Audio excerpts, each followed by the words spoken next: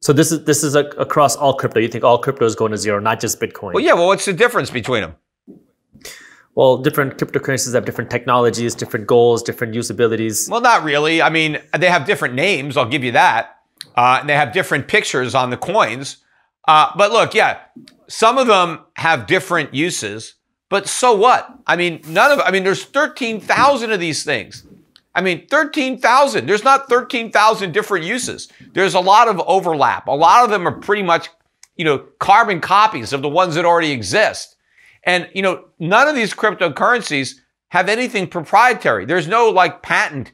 Anybody can just create one that's identical to it. It's all open source, right? I mean, anybody can do it. Um, and that's the problem because everybody wants to pretend that they're scarce.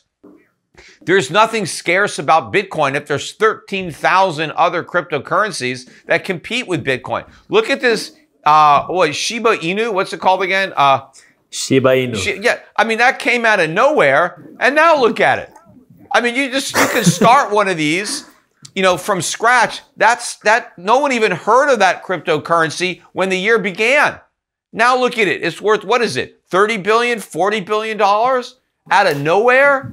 And so if that can happen, how is Bitcoin scarce when you could do that? You know, and and an infinite number of times.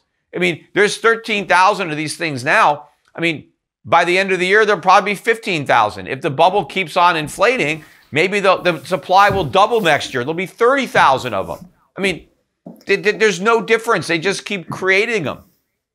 Yeah, I, I agree that it, there's a lot of volatility, a lot of speculation, a lot of potential risk behind it. You have to be smart when you do that. But you know, well, I guess we'll see what happens if, if blockchain stays on and if there's any future technology with blockchain. And I'm glad you gave your opinions because what I always say is you need to hear both sides. You got to hear from both people's opinions. So I'm very glad that you were able to educate our audience on your opinion. But what, so I, what, I thank I mean, for what that. makes you? Th- I mean, if you think Bitcoin has value, what is the value of Bitcoin? Because no one has been able to convince me it has any value. Sure. Well, if I have I have gold bars now, if I want to go travel around the world and I want to spend my money in India and I have gold, it's very difficult for me to do that. It's very difficult for me to travel around the world with gold in my pockets and do that versus me transporting something like a cryptocurrency is very easy. It's on my phone. It's very easy for me to do it off the grid. And it's very easy for me to now make these type of transactions. We have writers here for our team that are overseas. They couldn't accept PayPal. They couldn't accept some other sort, sort of payment. And so what we did was we sent them cryptocurrency. And now within five seconds, we had spent hours Yes. If not days, trying to figure out how to pay them. I, I agree with you that it is easy to transport Bitcoin because you're transporting nothing. And so when you're transporting nothing, it doesn't cost a lot Well, I'm transporting my phone, right? Bitcoin is on my phone. Cryptocurrency is on my phone, and it- it's it's it, there's well, there's right, something there. You could actually do the same thing. If you like blockchain technology, you can do the exact same thing with a cryptocurrency that's backed by gold or something real. So I can I can have gold in a Right. vault somewhere and my ownership can be registered on the blockchain and I can have a cryptocurrency that represents a fractional ownership Absolutely. interest in a bar of gold or multiple bars of gold. And I can just as easily and just as inexpensively, probably more inexpensively and even quicker and easier, I can transfer my ownership of that gold anywhere in the world through my cell phone.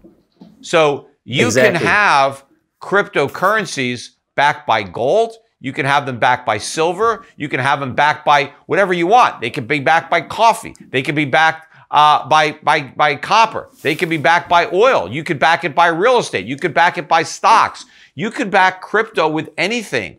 It makes no sense to back it by nothing, right? It seems to me that a cryptocurrency that is backed by something real will always have value and will be more appealing than a cryptocurrency that's backed by nothing. Because to me, the difference is real currency versus fiat. Real currency is backed by gold. Fiat currency is backed by nothing. So Bitcoin is fiat, right? It's a currency backed by nothing. All you have is faith and confidence. But if you have a cryptocurrency backed by gold, then what gives the cryptocurrency value is the gold that backs it up. You don't have to have confidence. You just need to know that there's gold there.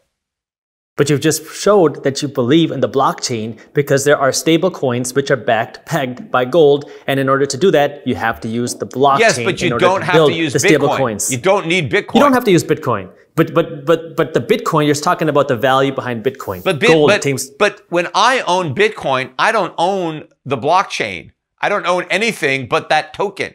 So my point is that everything you like about Bitcoin, you can have all that with a cryptocurrency backed by gold. But then you would have all the positive attributes of gold and you combine that with all the positive attributes of Bitcoin. But the problem with Bitcoin is when there's no underlying value to Bitcoin, you can transfer it around until the price collapses because people realize it has no value.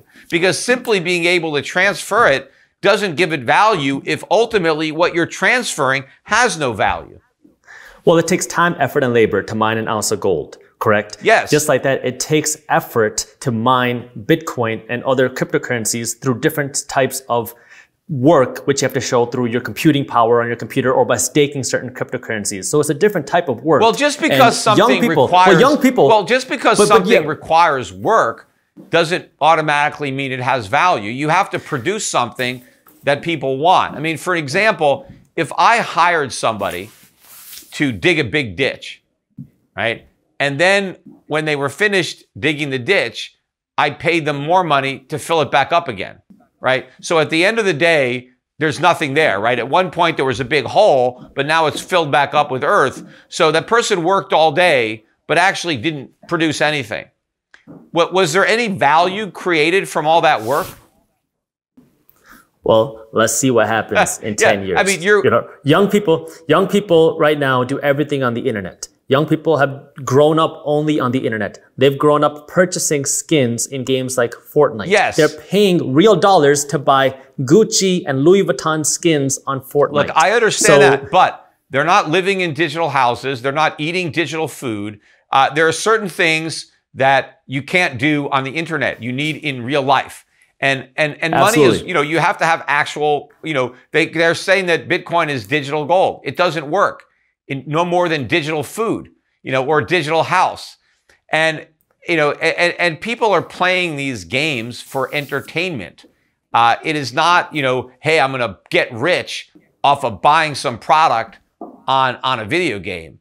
So this is a collective delusion. This is, you know, you know, like like tulip mania. I mean, you you can look back, right, and think, gee, I, I have a poster of Tulip Mania in our office. right, and you I and understand look, where you're coming the from. people that were buying those tulips in Holland were as convinced as you are that they were going to get rich.